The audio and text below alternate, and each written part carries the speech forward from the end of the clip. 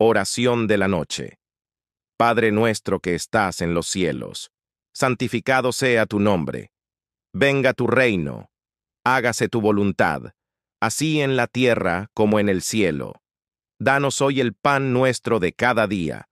Perdona nuestras deudas, así como nosotros perdonamos a nuestros deudores. No nos dejes caer en tentación y líbranos del mal, porque tuyo es el reino, el poder y la gloria por siempre. Amén. Espíritu Santo, guía de paz y serenidad, te encomiendo mi descanso esta noche. Llena mi corazón de tranquilidad, disipa cualquier inquietud y rodea mi mente con tus bendiciones.